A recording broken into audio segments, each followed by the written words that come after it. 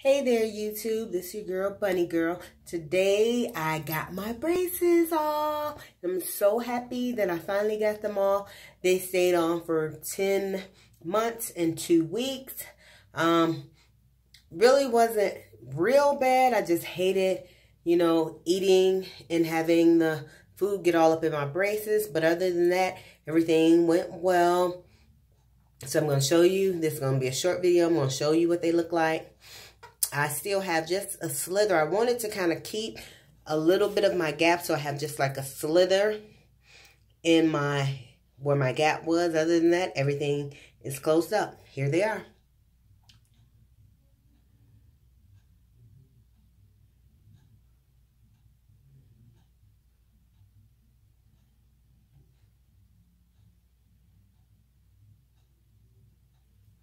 I think they look amazing. If you can look back on my other videos and see how my original gap was. And also, I'm going to put a picture of me ringing the bong after I got my braces taken off. So, this is it after 10 months, and I'm loving it.